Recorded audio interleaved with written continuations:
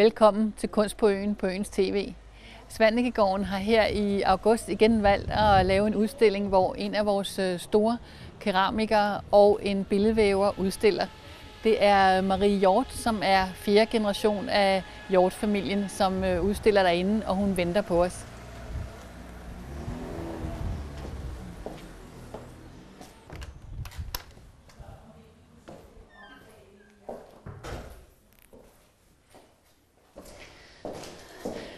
Goddag Marie. Hej Mette. Står du her i den fine udstilling? Ja, gør jeg. Og det er jo øh, en, en udstilling med, med dine keramiske værker. Og så er der også øh, billedvævninger Ja. af Nana Hertoft. Ja. Og øh, det er, jo- det er jo lang tid siden faktisk, at, øh, at vi har set en udstilling med, med dine værker. Ja. Der, der var en inde på øhm, fabrikken i Krystalgade, da jeg blev 70. Ja, og det er Hjorts Fabrik, vi snakker om. Ja, det er ja, det. Ja. Men det er jo også faktisk et, øh, et par år siden, det må vi godt sige. ikke? Syv år siden. Ja, ja. Ja, ja, selvfølgelig. Ja, så, øhm, og, øh, og, og det sjove er jo, at, øhm, at der er jo også en familierelation. Altså Hjort er jo et dynasti på Bornholm, og du er fire generation af, af Hjort-familien, som, øh, som øh, har startet og har haft fabrikken øh, inde i, Rønne. Ja. Hjorts øh, terracotta-fabrik, Hjorts keramikfabrik, hvad den har heddet gennem Ja. tiden. Ja. Men, øhm, øh, men du er faktisk øh, også i familie med Nana Hertoft. Ja. Men det er jo på min mors side. Ja. Min mor og Nannas mor, de er søstre. Nå, så det er din kusine. Ja, Ja. det er det. Og øh, hun er en lille smule ældre end, øh, end dig. Nana er 83. Ja. Og stadigvæk i gang med at væve. Ja, Ja. det er hun. Ja, det er også imponerende. Ja. Men, øh, men, altså, så, men I har fulgt hinanden fra I var, fra I var små. ja, Ja. det har vi faktisk. Øh, og dine keramiske værker, der er med her på, på Svannikegården, øh, er, er det fra en bestemt tid, eller er det sådan øh, øh, forskelligt? Det er faktisk ikke en bestemt tid, fordi er mange af mine arbejder, de er også øh, nogle år gamle, Ja, og nogle er nye. Altså de grønne fade for eksempel, de er nye. de er nye. Ja. Ja. Og Øh, så vi skulle så måske starte med at, at, at simpelthen at kigge, kigge på det. Jeg synes også, vi skal, vi skal snakke lidt mere også om Hjorts Fabrik og sådan noget. Men øh, altså, denne her glasur, det er en, der hedder en alkaliglasur, og det er den, der sådan er klar ligesom akvarel og har temmelig stærke farver. ja, Og motiverne, der er lagt ind her, det har jeg faktisk gjort, mens den var læderhård. Den Ja. har ikke været brændt endnu. Og så har jeg ridset, og ned i ridserne, der har jeg lagt en mørk begitning. de bliver jo ikke blanke ligesom glasuren, vel? Altså, så, så lægger Nej, du glasuren Men det ovenpå. gør de jo, når der er glasur Ja. ovenpå, Ja. så bliver det blankt. Ja. Men jeg gør det, fordi at man kan få en meget større lethed over dekorationerne, Ja. hvis de ligesom er lagt ned i leret. Ja. Og, og hvad, hvad ridser du med? Ja, altså vi har jo masser af redskaber med, Ja. med små slynger og sådan noget. Ja. Så det er lidt forskelligt, men altså, man kan jo forestille sig sådan en, en tyk nål eller sådan. Ja. Ja, Og det er fri hånd.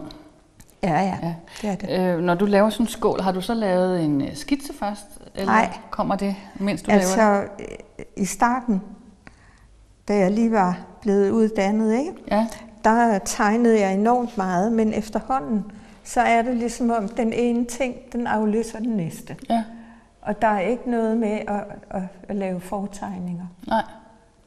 Øh, men det kunne være, at vi skulle, fordi øh, der er jo lavet nogle fine bøger om Hjorts Fabrik og sådan noget, så jeg, jeg tænkte, vi måske skulle sætte os hen og tale lidt om, om, øh, om Hjort, og så vender vi tilbage igen og, og kigger nærmere på. Ja. dine meget fine ting her.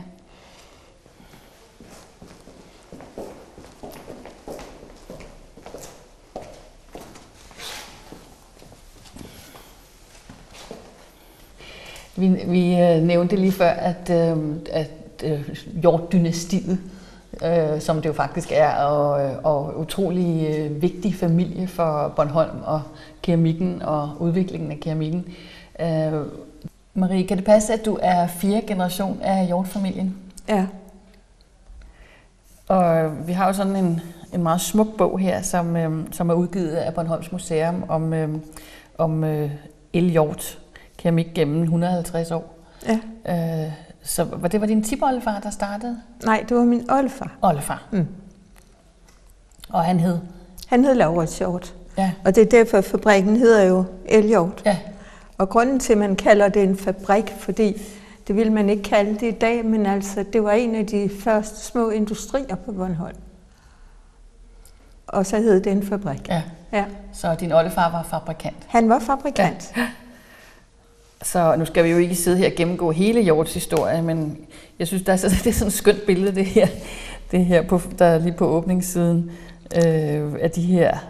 Øh, Og det er jo netop terracotta. Ja, Og den hedder, eller hed i hvert fald, øh, terracotta-fabrik. ja, Ja.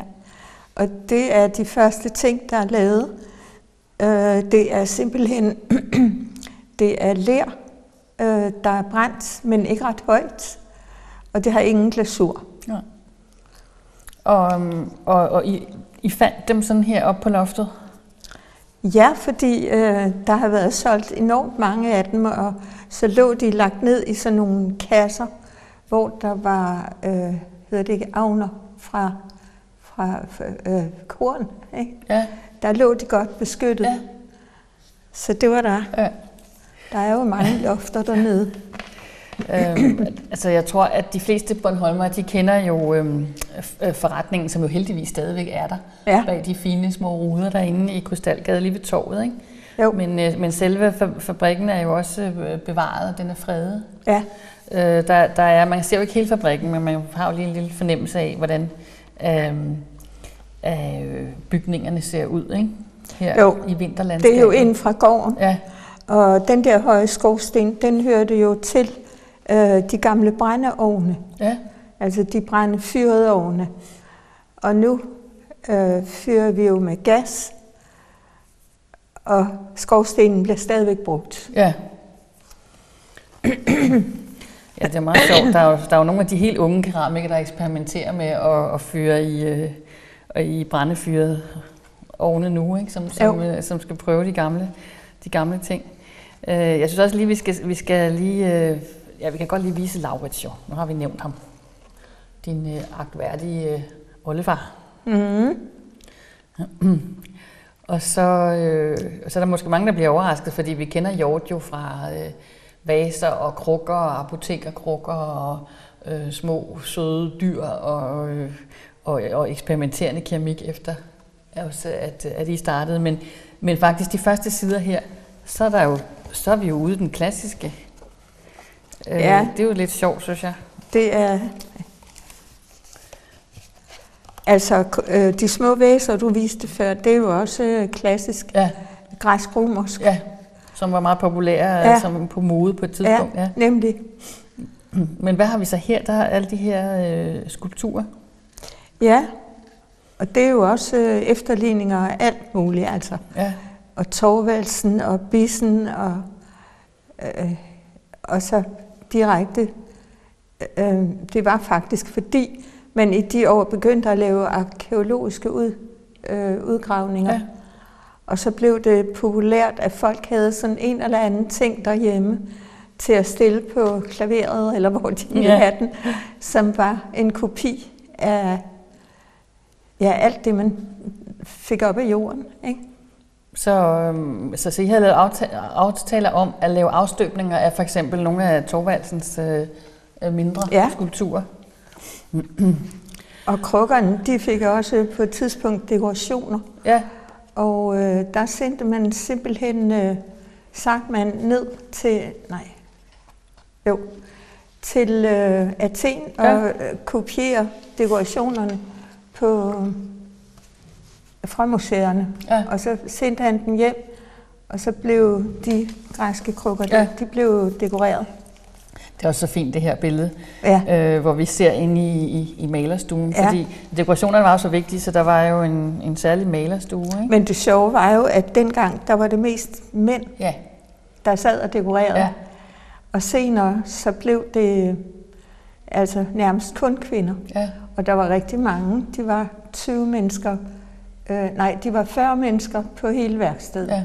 Og halvdelen var altså faktisk nogen, der dekorerede. Og det er meget sjovt, fordi øh, øh, nu har vi jo været på, på Kunstmuseet, hvor øh, øh, en af de øh, øh, store danske keramikere nu, som, som øh, Michael Gertsen, som lige har flyttet over det her til Bornholm, han har lavet øh, nogle interventioner, som man kalder det, og øh, han har også lavet en med sådan en krukke, og, men der er det Holger Drachmann, der, ja. der tjente ekstra penge ja. ved at sidde og, og lave, og det var sådan en, det var sådan Hammershus, så det var sådan den græske vase, men så men så Hammershus altså, og andre motiver fra Bornholm, der blev malet på. Ikke? De græske vaser, de blev også solgt øh, uden dekoration. Ja. og så sad folk hjemme og dekorerede den med øh, oliefarve. Nå, det blev okay. ikke brændt i. Nej, ja. Og så er der så nogle her, de her bæltevaser. Bæltevaser, ja. ja. ja. Øhm. Og der er det jo leret farve, ja. der giver ja. bælterne der, men men altså, men, men, øh, men man producerede mange af en slags dengang. Altså, øh, altså ja. der var det ikke øh, så meget unika-produktion, som Nej, det senere blev. det var det ikke. Øhm. Og det er meget imponerende altså med de der små væser, fordi der, det var jo også mænd, der sad og drejede ja. den. Ja. Og de sad med små pinde og sådan noget. Ja. Jamen altså, det er, jeg har tænkt over det, for det vil jeg nemlig også bringe op her, fordi Øhm, hvis vi springer i familiehistorien og Hjorts historie, så, øh, så overtager du og din søster Ulla jo fabrikken på, på et tidspunkt. Ja. Og, øh, og når man så bladrer her i, i bogen og ser, hvem der var de store navne på det tidspunkt, det er jo alt sammen kvinder. Altså, øh, altså der er, øh, altså du og, og Ulla kommer til, ikke? Men, øh, men også de store... Øh, navne, som jo også er familie med, som også arbejder hos jer, uh, Lisbeth Munk Petersen og, og Ursula Munk Petersen. Uh, og Gertrud Væsgaard. Ja. Altså Gertrud Væsgaard og Lisbeth Munk Petersen, de, var, de gik på, på akademiet, ja. og de var de første piger. Ja. Ellers så havde det været mænd. Ja. Det er også lidt sjovt, at man kalder dem piger, fordi uh, ja, det er det. Altså kom de også, jeg ved ikke, om de også hed maler piger inde hos jer, øh, hos Hjort, men det, det har jeg hørt jo, fra, fra familien Storgård, jamen, at de hed malerpiger. Ja, ja, uanset, uanset hvor gamle de var, så ja. var de stadig piger. Ja. så, så, men det er sjovt med det, det er jo meget sympatisk. Der, ja, at, øh, at, at, at, hvor vi ser her på billedet, at alle sammen er mænd, og så, og så er det nærmest øh, kvinderne, der, øh, der overtager på det tidspunkt. Ja. Øhm, nu er der jo så, altså, vi har også lige talt med, med afgangsklassen fra, øh, fra øh, akademiet på keramiklinjen. Der er jo der en del mænd igen. Ja. Så øhm, det kan være, at det, at det udjævner sig lidt. Men øh, inden, inden at vi lige går, går til, til, til, da I overtager det, så synes jeg lige, vi skal lige vende nogle af de, af de karakteristiske ting. Øhm, som, som Jors Fabrik lavede. Altså der er jo det, der er jo det, som stadigvæk er populært og kan fås hos antikvitetsbutikkerne, ikke? Det brune. Øhm, hvad, hvad er det, der er, spe, er specielt med, altså med udarbejdelsen af, af, af de her Det er, ting? at der er overhovedet ikke nogen glasur på. Nej. Og det, det er det første stentøj, man lavede i Danmark. Det, det blev lavet på fabrikken, ikke? Ja. Og øh, leret der, det var noget, man fandt ved sose. Ja. Og det kunne tåle den høje brænding. Og så gjorde man det, at øh, det blev gelittet, når det var på drejeskiven, og når det var læderhårdt. Med sådan nogle klinger, altså. Ja. Sådan så det blev fuldkommen blankt. Og så skete der det, når det blev brændt, at der var, kom sådan en lille hende så det så ud, som om det havde ja. glasur, men det havde det altså ikke. Og så blev det dekoreret ja. med metalilter. Ja. Og, og det vil sige, at, at der sad så nogen og malede direkte på det halvvåde ler? Nej, det gjorde de ikke. Nej, okay. Så blev det brændt. Okay, undskyld. Så Første gang, jeg og det blev, altså, det blev forglødet. Ja. Det vil sige, at det blev brændt ved 1000 grader. Ja. Og når det så var forglødet, så malede man på det akkurat ligesom hvis det havde været en akvarel. Ja. Og det er jo fantastisk håndværk, altså det er det virkelig. Ja. Og man kan også se nu, når man øh, møder nogen, øh, øh, altså hvis der er flere af, samme type øh, hos en antikvitetshandler, så, så er de jo heller ikke ens. Nej, ikke, altså, ikke helt nej, ens. Det kan godt være det samme, samme motiv, men, øhm, men, men, de, øhm, øh, men, men de varierer alt efter, hvem der har malet. Ikke? Det var det, det her billede, jeg ledte efter, fordi det er jo dem, det er dem vi ser stadigvæk, ikke? altså med frugter og med, og med fugle. Ja, altså de første ting, det var dem med jugendmønster. Ja. Dem, ja, jeg tror, det jeg var har dem, vi så forbi. lige det er dem, vi så før. Ja. ja. Og så efterhånden, så blev det ja. alt muligt andet. Ja. Ikke? Og, og hvor kom inspirationen fra til, til de her fugle? Jamen altså, det var jo lidt det samme, at man begyndte at få øh, for eksempel japansk indpakningspapir, Ja. når der var noget, der kom til Danmark. Og det var altså nogle ting, de øh, altså inspireret, blev Ja. inspireret af. Ja. Øh, det, det er jo meget, og det er også meget sådan naturtro, øh, fuglene og, og frugterne. Men nu når vi har slået op her, så kunne vi jo godt lige tage det her billede med, at det er så en af de gamle øh, Ja. brændeovne, ikke? Jo, hvor man fyrer med brænde. ja, Der er jo sagt, at er gået meget brænde til. det er det. Ja, der gik mange rummeter Ja. ja. hver eneste gang.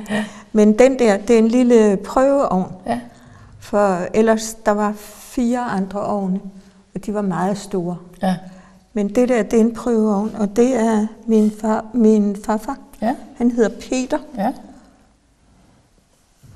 og han står og fyrer. ja. Ja, fordi karakteristisk øh, er jo, at øh, I, jer, der, har, der har, har haft fabrikken og været direktør for fabrikken, I har alle sammen været hårdt arbejdende samtidig. Der har ikke været sådan en direktør, der har siddet Nej, bag skrivebordet. men der har i det hele taget ikke Så- været en direktør. Nej, Der var en fabrikant, en fabrikant. der ejede det, ja, og så var der eller ikke to. en. Ja. Ja. Så hvem har vi her? Der har vi også min farfar og min farfars søster, Ja, og det var hende, der havde malerstuen. okay. Ja, Og det der, det er min far. det er din far, og han Ja. hedder? Han hedder Erik, Han hedder Erik, ja. Og øh, han, han eller hed. Ja. Og, øhm, og hvor mange år sådan cirka havde noget han at, at stå i spidsen for Hjorts? Ja, det ved jeg ikke. For min farfar døde i 59, Ja, og min far han døde i 81. ja, Og det gled jo sådan lidt over i hinanden, fordi min farfar han blev også gammel og måtte have hjælp, ikke? jo, Og så var de der jo. Og der var også søskende til min far. ja, Der var en søster, der var i butikken. ja. Men øhm, var det hende, der i virkeligheden egentlig godt ville have været sølvsmed?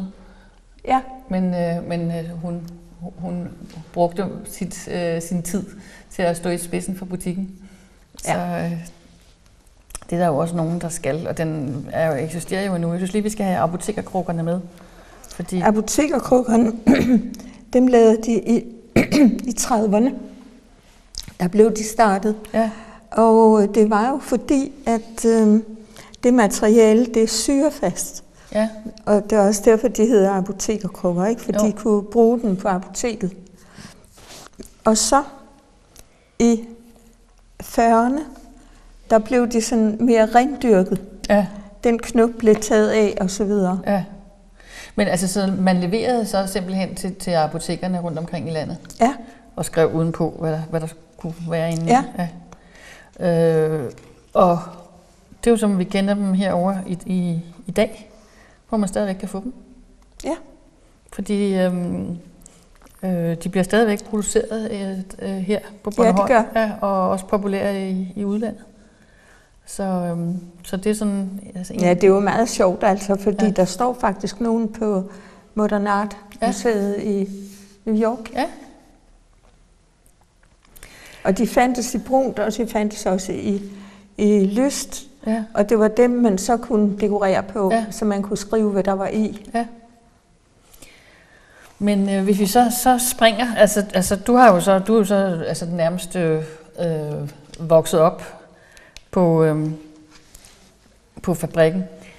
Øhm, og, og, og du vælger så at komme, øh, at komme på, på øh, kunsthåndværkerskolen. Ja, Og det gør din søster Ulla også. ja. Men, øh, øh, men ikke helt samtidig. Nej, vi har ikke gået der samtidig. Nej. Hun er fire år yngre end mig. Og dengang var det jo, øh, øh, i højere grad øh, pottemageruddannelse måske?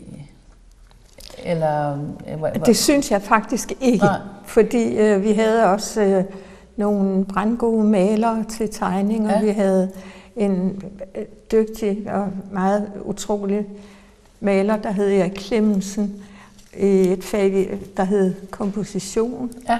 Og sådan, så de gik altså også meget højt op i alle de sideting, man skal Ja, ja. kunne. Men det er ja. rigtigt, at vi havde en rigtig god faglig øh, uddannelse. Ja, så I havde grundlaget ja, Ja, i orden, men, ja. ja. men, men alt det, det kunstneriske og jeres, øh, jeres øh, egen udvikling af tingene, det, blev også, det var også i højsædet på det tidspunkt.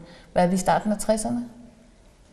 Øh, jeg er færdig på skolen i 63. Ja.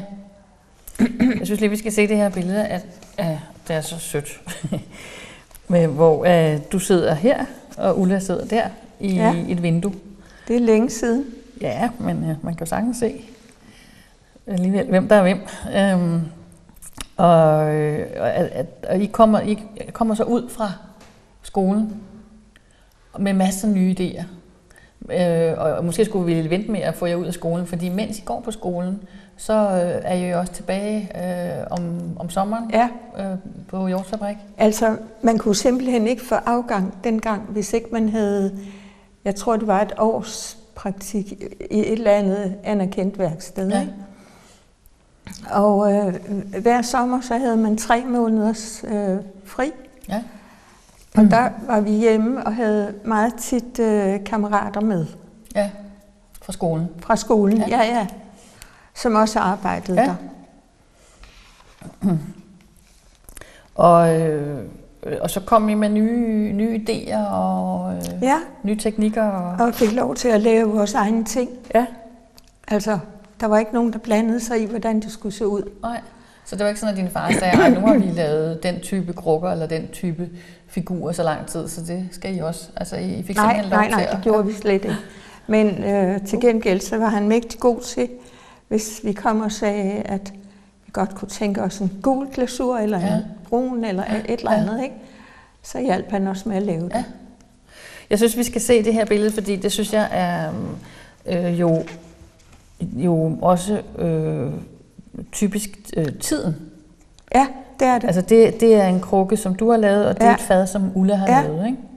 Og øh, der står i bogen i hvert fald, at det er fra, fra 1964, øh, øh, den krukke her. Og, øhm, og jeg synes lige, man skal lægge mærke til, at der er sådan nogle, øh, sådan nogle visne bjørneklør Ja, bagved i opsætningen også. ja. Altså det har jo, det har jo virkelig været et brud med 50'erne, og det Ja. har været hypermoderne på det Jo. tidspunkt. Det var også meget moderne, at man ligesom skar ind i leret. Ja. Så vi gider du Og- lige fortælle om, øhm, om, om selve krukken her? Ja, Hvad den er? Den krukke, den Ja. er faktisk brændt på fabrikken. Ja. Og lige før jeg er færdig på skolen, nej, lige efter, tror jeg. Men i hvert fald, så er den saltglaseret. Ja. Så der lavede vi også sådan nogle eksperimenter med at kaste salt ind i ovnen Ja. og sådan noget. Og det var i den lille brændeovn, som du Som- viste som allerførst. før, ja. Jo, Øhm, og, og det var heller ikke, altså saltglasur var ikke noget, I sådan havde brugt øh, på, på hjorts før?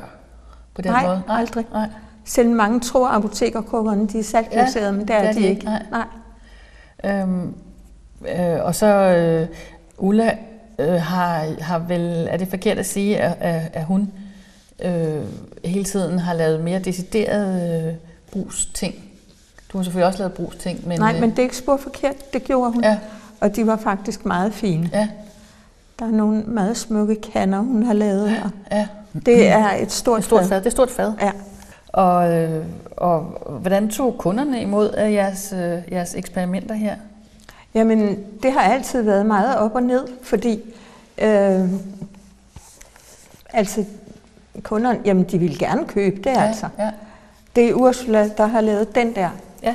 Og det er meget sjovt, fordi den er nemlig også sådan med, med noget udenpå, Ja, ikke? jo. Altså, jeg ved ikke, hvad man kalder det. Og det er din, den der. Ja, Og den er jo også meget øh, eksperimenterende, ikke? Altså Jo. på det tidspunkt.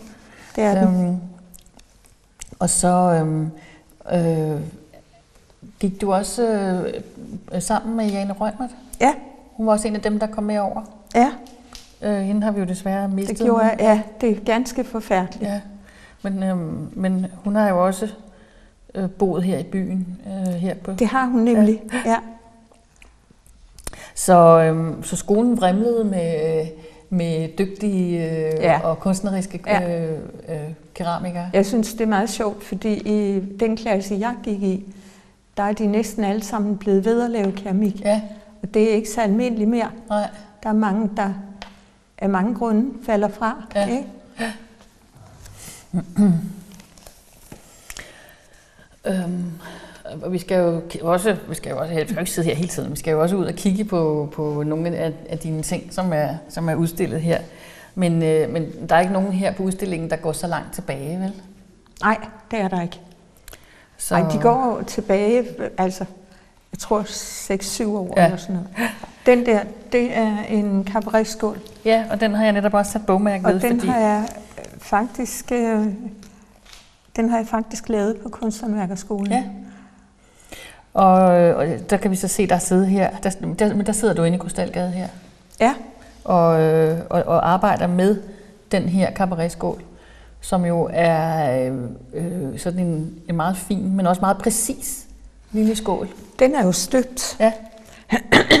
men jeg har lavet den på den måde, at hvis man klapper to sammen, ikke? Ja. så er det faktisk en drejet ting. Ja. Sådan her. Og så har jeg flækket den igennem og støbt form over den. Og det gør, at den, den svæver i de her tude, eller ja. hvad du vil kalde det. Ja. Og, og, og, og så, kan man, øhm, så kan man sætte dem sammen. Ja. Men de bliver ikke produceret øh, jo. mere, gør de det? Jo. Det var dejligt at høre. I princippet, ja. i hvert fald. Ja. Jeg ved ikke, om der ja. er nogen lige nu, men Nej, altså... men de har, de har været sådan i, i gang lige siden. Ja. ja. Men øh, de er jo også fantastisk øh, anvendelige, og så, øh, og så synes jeg jo også, at det er spændende. Du siger, du, den, har, den, den lavede du allerede i starten af 60'erne på skolen. Ja. Og, øh, og den er jo den er jo hypermoderne nu. Det også. sjove er, at den bliver brugt på japanske øh, restauranter. Ja, ja, det kunne man godt de forestille sig. De har den til alle de her små ting. Ja, ja, ja selvfølgelig. Øhm, ved du hvad, øh, nu er det første program, det er snart øh, ved at, øh, at, at løbe lidt fra os. Jeg synes, at vi kan lige se det her billede af dig også. Ja, det er uanmeldeligt rædselsfuldt, men det Nej, det synes man altid, når man ser sig selv. Det synes vi andre jo ikke. Jeg synes, det er Nej, men det er altså billede. Ja. nogle af de lågkrukker ja, der. Ja. Og det skal vi jo se på i næste, ja. i næste afsnit. Og øhm, der skal vi rundt og kigge på dine ting, og hvis du, hvis du vil fortælle os, hvordan man laver de der lågkrukker.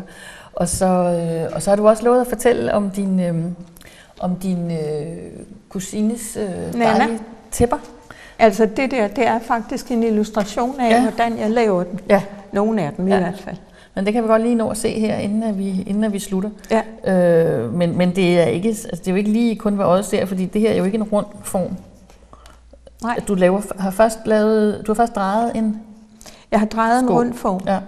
Og så har jeg skåret et stykke ud hele vejen, altså oppefra og Ja. ned, og bunden med, og så op igen, ikke? Ja. Og så klappet de to halvdele, der er blevet tilbage sammen. Så de bliver sådan, ja. Og, øh, og så laver du sådan nogle, Låse, nogle låse herude. og så laver jeg en plade Ja. til... Og den har du, er det, har du rullet den ud med, Jeg har faktisk med drejet den. Du drejet, også drejet den. Mm. Ja, det er jeg nemlig ret overrasket over, at man kan det. Så øh, vi glæder os til at, at kigge nærmere på, på resultaterne af, af, noget af Ja. dit arbejde her næste gang. Så øh, tak fordi, at du kom fra Rønne og, øh, og indvidede os i, i Hjorts historie. Og vi glæder os til næste gang. Og jeg vil sige øh, tak til seerne, fordi at I fulgte med. Og øh, husk nu, at næste gang bliver lige så spændende, fordi der skal vi ud i udstillingen her på Svanægården, og så skal vi kigge nærmere på øh, Marie Hjorts øh, skønne, skønne keramik, og vi skal også se nærmere på Nana Hertofts billedtæpper. Så se med igen i næste uge, og find dette og tidligere afsnit på YouTube og på Facebook-siden Kunst på Øen. Tak for nu.